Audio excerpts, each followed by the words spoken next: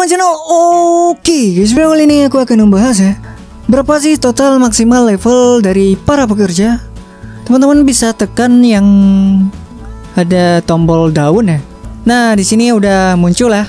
Teman-teman tekan aja hire helper.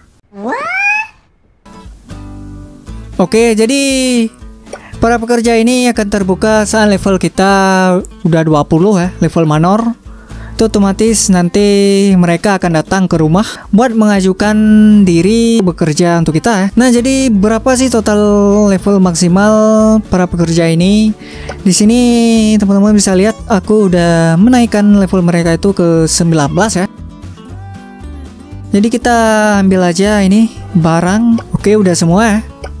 Dan di sini kita butuh uang ya untuk melatih mereka ke level selanjutnya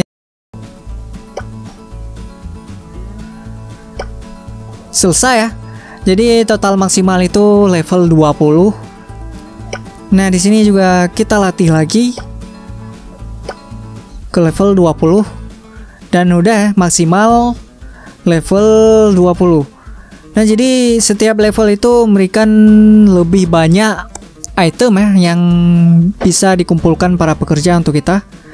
Teman-teman bisa tekan ini tanda seru ya yang ini di sini bisa teman-teman lihat level maksimalnya 20 ya.